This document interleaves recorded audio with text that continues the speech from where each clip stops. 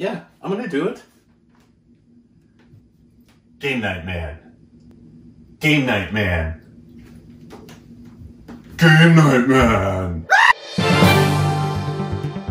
Breaking news from WFDN as I report live from the crime scene of yet another victim in the Game Night Man massacre.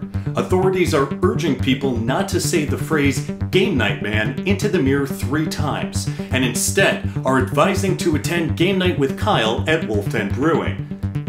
I'm getting reports that this Halloween themed edition will be held from 6 to 9 p.m. on Wednesday, October 13th. Beer, food, and special rounds of spooky questions await. Once again, the public is urged not to say the phrase Game Night Man into the mirror three times, as an immediate death will occur. Now, back to the program.